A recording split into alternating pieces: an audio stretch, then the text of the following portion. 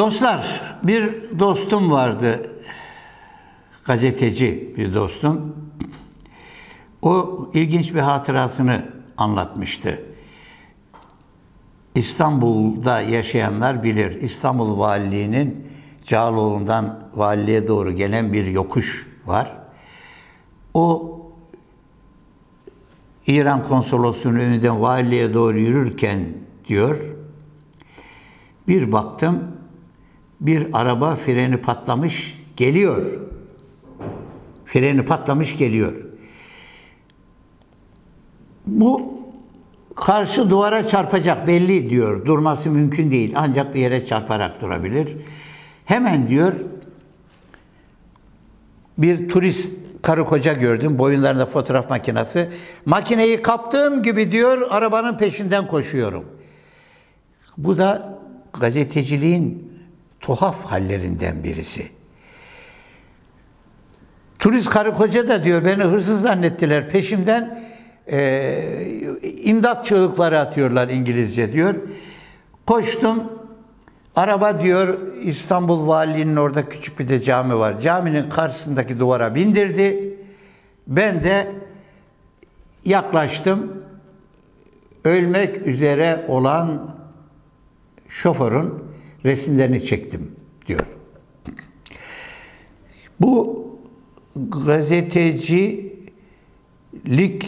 midir? Doğrusu ben vicdanımda tam cevapta veremiyorum buna. Fakat e, Emin Çöleşan'ın da bir kitabı var. Önce insanım, sonra gazeteci diye. Yani bu tür halleri sorguluyor. Ve o çektiği fotoğrafla yani o can çekişirken resmini çektiği fotoğrafla yılın e, gazetecisi ödülünü almıştı. Aldığını söylemişti bu dostum. Şimdi buradan nereye geleceğiz? Efendim şu anda korona olayında Türkiye arabası patlamış bir fren gibi gidiyor. Meçhule demiyorum. Bakın, meçhule değil. Bilinen bir yere doğru gidiyor. Ama orada bir duvar var ve toslayacağız gene. Günde 15'e kadar düşürdüğümüz ölü sayısı 250'ye çıktı. Yahu devlet ve AK Parti iktidarı şu anda devleti temsil eden iktidar kendini yırtıyor. Aşı olmayanlara karşı en son bir tedbir getirdiler. Öğretmenler ve devlet memurları. Haftada iki kere herkes PCR testi olacak. Aşı olmayanlar PCR testi olacak. Şimdi PCR testi de öyle kolay bir şey de değil yani. Burnunuzdan parça alıyorlar ve yarım saat, bir saat içinde sonucunu veriyorlar.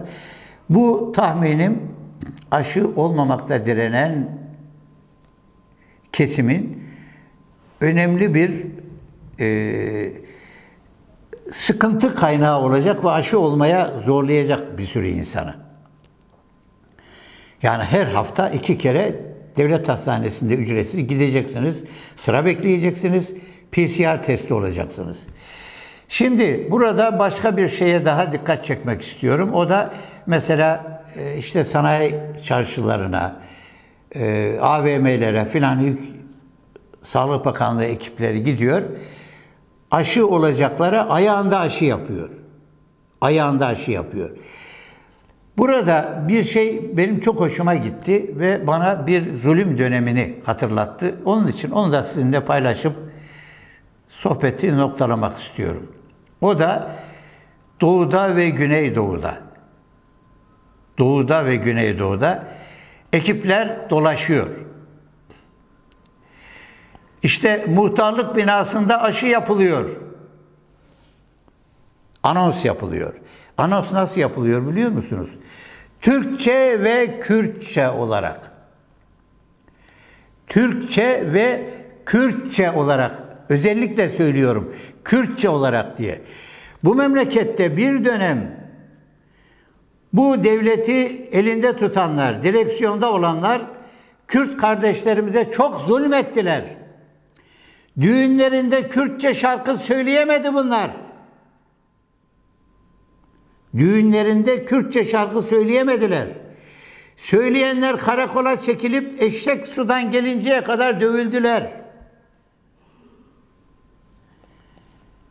Yahu bir insanın kendi ırkını seçme, kendi dinini seçme imkanı yok. Anadan babadan hepimiz Müslümanız. Türküz, Kürdüz, Arabız, Çerkeziz, Boşnağız, Ağızka Türküyüz, Bulgaristan göçmeniyiz, Bulgaristan Türküyüz. Doğru mu? Evet. Yani bir insana sen Türkçe konuşmuyorsun diye zulmetmeye ne hakkımız var yahu? Ne hakkımız var? Bu yapıldı bu memlekette. Askeriyede de yapıldı bu. Bir arkadaşım diyor ki Türkçe bilmiyor, askere gelmiş diyor. Ya bu adam senin askere gelmiş. Bunu bir iki ay, üç ay bir eğitim al. Buna bir en kolay şekilde Türkçeyi öğret. Döve döve diyor bu askere e, silahı söküp Türkçe olarak söküp takmasını öğrettiler diyor. Döve döve. Ulan ondan sonra bu adam gidip PKK'ya asker oluyor. Niye yapıyorsun bu zulmü? Şimdi Recep Tayyip Erdoğan'dan Allah bin kere razı olsun. Bu zulümleri durdurdu. Kürtçe kanal açtı. Arapça kanal açtı. Ya değilse Kürt kardeşlerimiz bilir. Ermenistan'dan Kürtçe yayın yapan, Kürtçe yayın yapan radyo vardı ve bütün Kürtler Ermenistan'dakini dinlerdi. Ermenistan'dakini dinlerdi. Tabi haberlere geldiği zaman da Ermeniler kendi istedikleri haberleri buradaki bizim Kürt kardeşlerimize dinletirlerdi. Abi yapmayın bu zulmü. Yapmayın. Bakın bu Kemalist bir mantıkla bile yanlış. Kendine düşman ediyorsun bu adamı. Şimdi Kürtçe, Türkçe anons yapılıyor. Diyor ki gel aşı ol. Bak kapına kadar aşını getirdik senin. Ne kadar güzel. Bu günleri görmek bana doğrusu büyük keyif veriyor. Allah'a bin kere şükür. Bu yanlıştan döndük.